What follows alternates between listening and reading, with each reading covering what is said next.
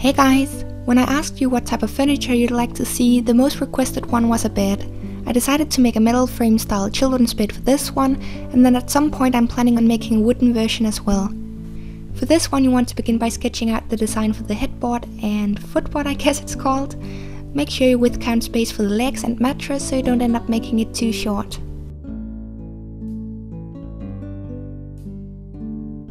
I then took some copper wire and the soldering supplies I've been using in a couple of my previous videos. And once again, if you don't have soldering supplies, you can also use a strong glue to put it together.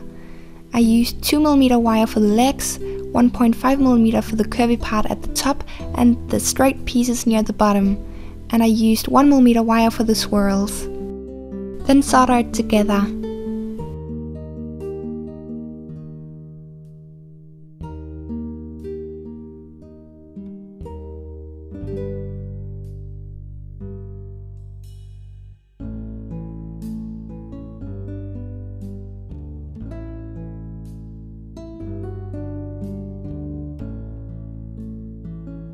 Now connect them with a couple of pieces of wire on each side.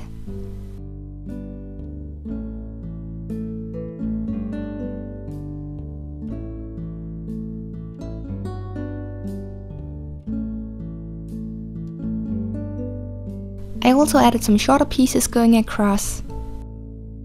Now sand the surface and prepare it for being painted, then apply a primer and the color of your choice. I used spray paint just as with my other pieces of metal furniture. Once dried, I added some dark brown patina. Don't worry if you don't have this specific one, you can also use dark brown acrylic paint.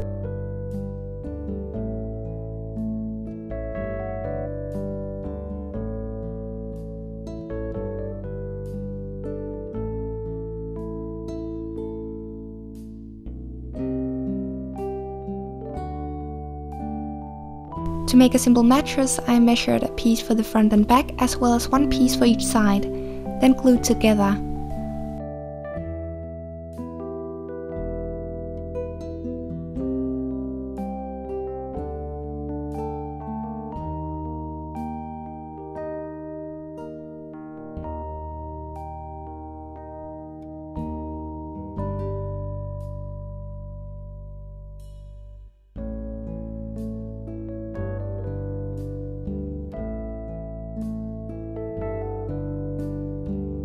Once dry, flip it inside out and add the batting of your choice.